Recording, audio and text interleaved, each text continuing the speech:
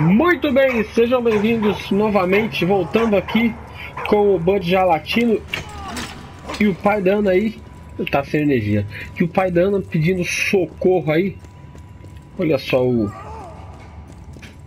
negócio, o, o tanque aí da que o Vandorf usou.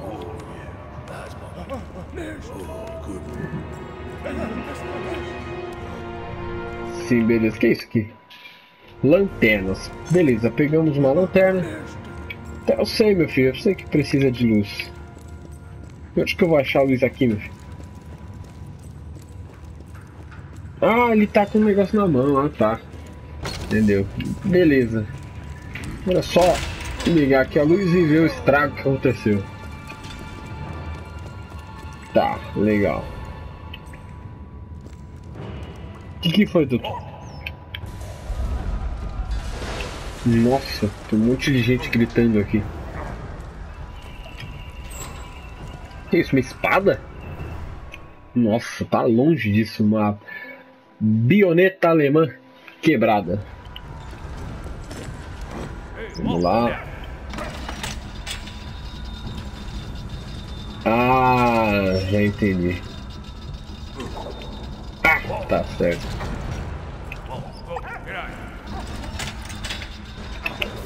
Tá lá.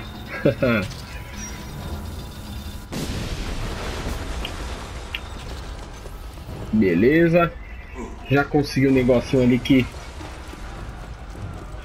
que era que o doutor pediu. É uma mola, parece. Então, vamos voltar lá. Opa. Os alemães no fundo já estão correndo.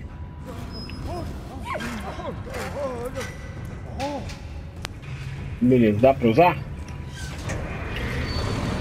Ah, moleque, agora sim, Nossa, passando, não tô nem tomando conhecimento. Será que dá pra sair? É, tá bom, não vamos sair não, vai ficar perdendo tempo não. Hum, não lembro muito desse lugar. Ah, beleza, sai de qualquer jeito. Ah, tem que ir pra lá? Tá. Mas eu vi que eu deixei passar. Eu, eu deixei passar, mas não vou deixar passar, né? Dito e feito, tem um rato morto no espeto rato morto. Um rato morto não era lixo. Nossa, especialmente um rato morto que podia ser assado para o jantar. Não se pode discutir com um homem faminto. Pois é. Mas eu não sei se eu comeria um rato, cara. Sinceramente. Tanto que doença que o bicho devia ter devia ser fácil, não. Vamos ver o que, que esse botão, essa alavanca faz, na verdade? Ah, ela muda ali o negócio. Mas tá, o que que tem? Hum, tá. Então tá bom. Então, eu tenho que de qualquer jeito, eu tenho que ir no canhão. Então tá bom. Vamos lá pegar. Tá aqui com o doutor. Com o professor, sei lá. A peça é um. Tá, tá bom. Então eu tenho que fazer. Hum, deixa eu ver. Exatamente, fazer essa. Tá bom.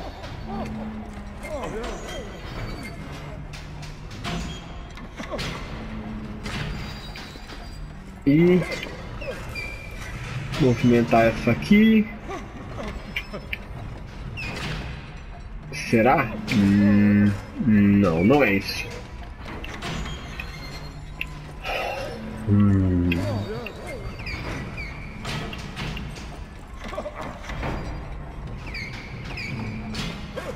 Beleza, é isso aqui. Tá, é isso aqui agora, o senhor. Tá, mas e agora? É isso aí, tá certo, não tá? Ah, tem que puxar a alavanca?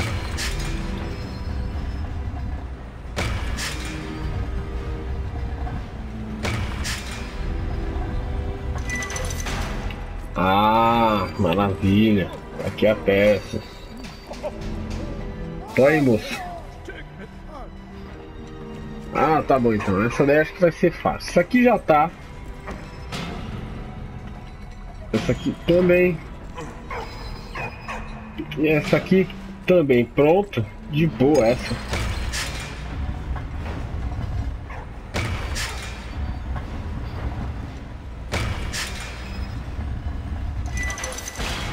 Beleza. Mais uma peça feita tranquilamente. E tá pronto? Já era, tá pronto. Vamos que vamos. Cadê o câmera? Ah, tá pra lá.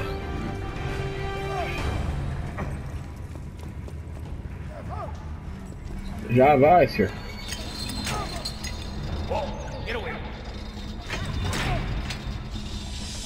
Nossa, certinho, mano. Você é louco.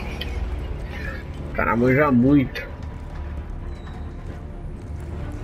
Vamos lá entrar aqui. Nossa, agora eu quero ver, mano. Opa, dá pra controlar. Tinha esquecido que dava pra controlar. Pra cima e pra baixo. Tô me sentindo nos primeiros Call of Duty agora. Será que... Ah, dá pra passar por isso, né? Pelo amor de Deus. Toma!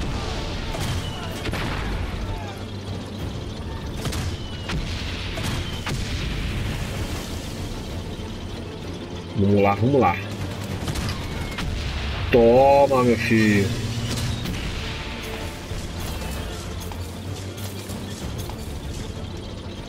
Ó, tem umas minas ali no chão. Já destruí elas. Cara, se pudesse. Ô, oh, mano.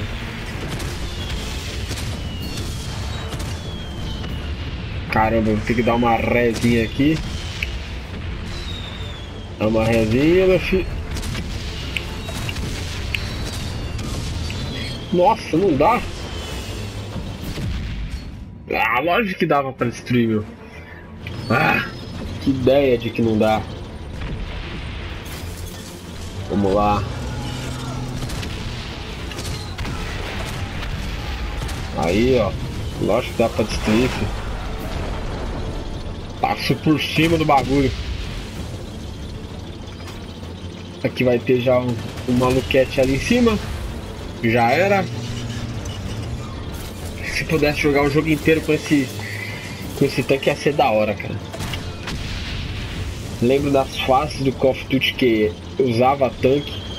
Dos antigos Call of Duty, né? Que hoje esses de agora não são baseados nas guerras, né? Primeira e Segunda Guerra Mundial. Mas os antigos era da hora, cara. Tinha fase que você só usava tanque, cara. Era muito louco, cara.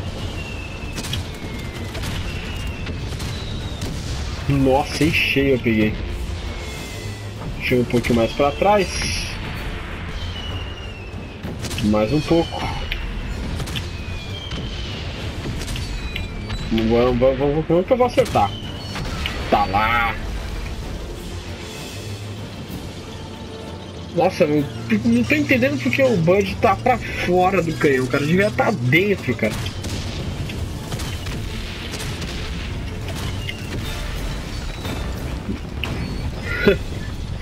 Sem chance dos meninos. Ah, tá certo. E é da mãe.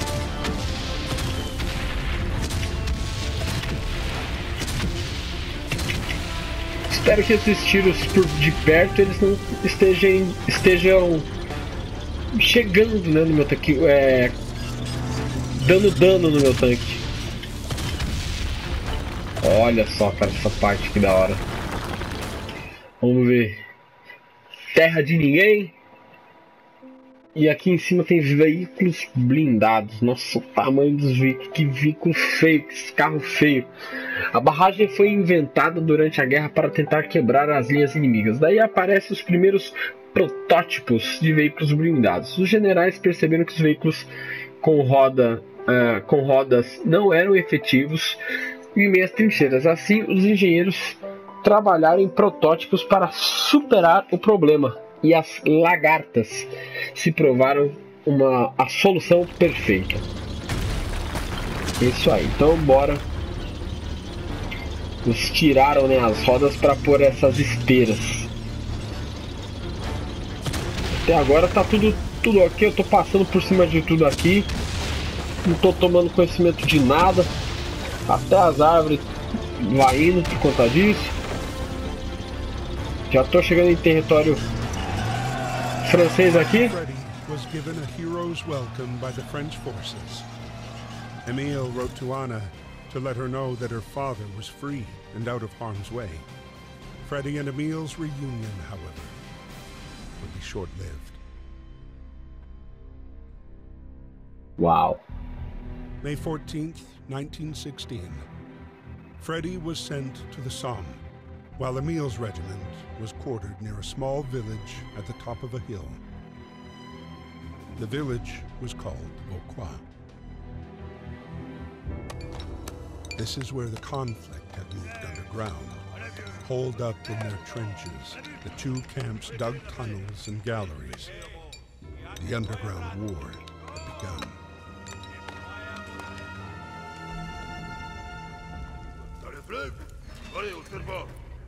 E é isso aí.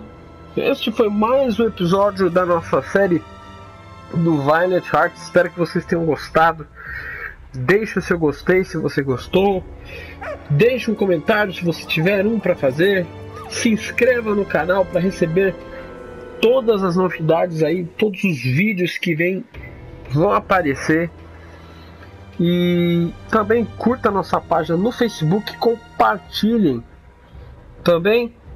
E espero que vocês tenham gostado. Um grande abraço para todos vocês e até a próxima.